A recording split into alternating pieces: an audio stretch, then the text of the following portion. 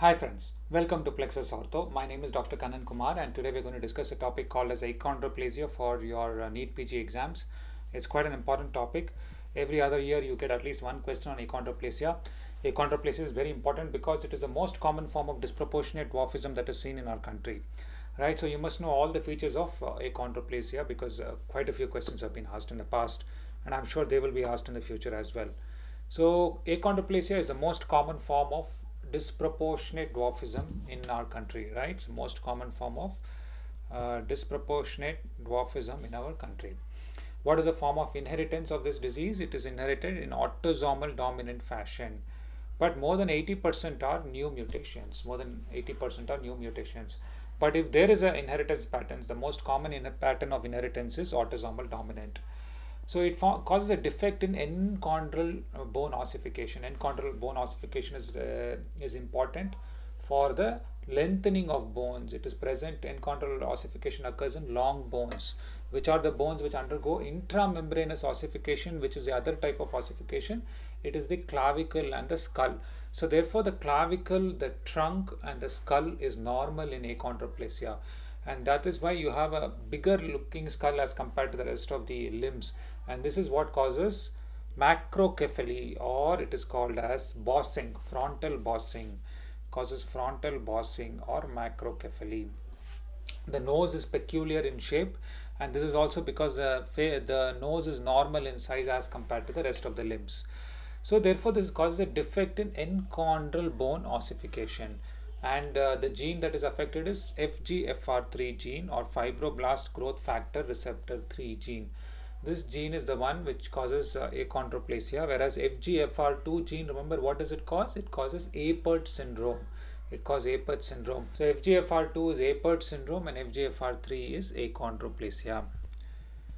So, what are the risk factors? Some of the factors that can cause um, uh, lead to achondroplasia. It is a paternal age of more than 36. That is, if the father is more than 36, there is a higher chance of um, achondroplasia. You know that the maternal age more than 35 causes Down syndrome, whereas a paternal age higher has a higher risk of achondroplasia. This is the most common form of disproportionate dwarfism. We have discussed that. It's a rhizomelic form of, of dwarfism. Rhizomelia is a shortening of the more shortening of the arm portion of the uh, limb and this is called as rhizomelic type. Mesomelic is something which is short in the forearm. The shortening of the forearm is much more than the arm. In achondroplasia, the arm is much more shorter than the forearm and this is called as rhizomelic type of dwarfism. Here the trunk height is normal, the trunk is normal, the head is normal, the skull is normal because they all undergo intramembranous type of ossification whereas the arm span and the length of the legs all reduce. So therefore they are very short and they have very short and stocky tubular long bones. So this is the difference between a type of uh, dwarfism which is seen in achondroplasia and other proportionate dwarfism where the trunk and other limbs are also proportionately dwarfed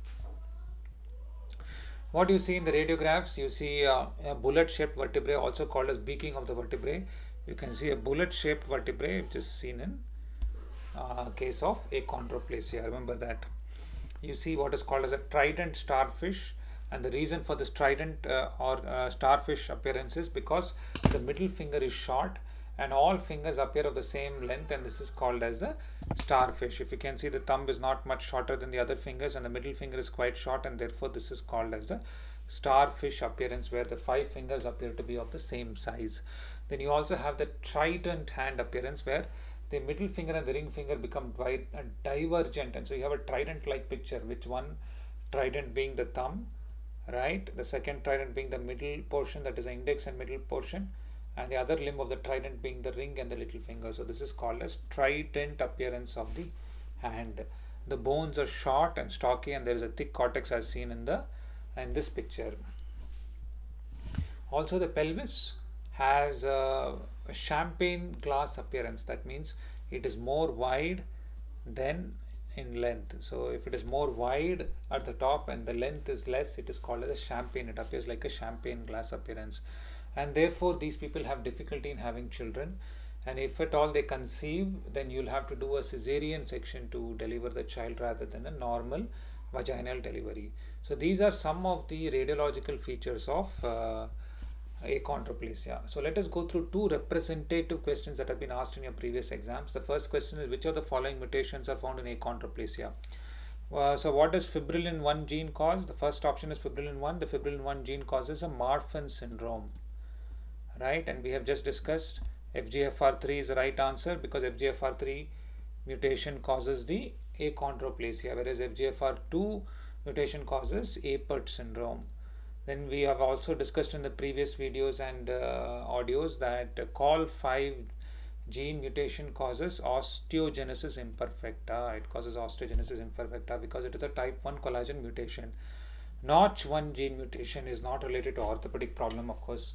Notch1 gene mutation can cause different types of leukemia, including lymphoblastic leukemia. Now let's come to the second and final question, and uh, this kind of recaps our um, uh, achondroplasia topic discussion.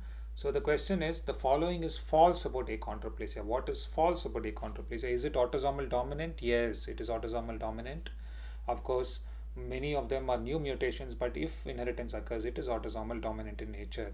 Do we have a trident hand uh, appearance? Yes, we do have a trident hand appearance or a starfish type of appearance. Is there mental retardation? No, there is no mental retardation. So this is the false statement about achondroplasia. Let us look at the last one. It is called, does it have frontal bossing? Yes, there is frontal bossing and microcephalic appearance. So uh, this was in brief about, uh, this was briefly about achondroplasia. I hope uh, this helps you in your NEET PG exams. Uh, my name is Dr. Kanan Kumar. Thank you for hearing me out. Uh, thank you very much.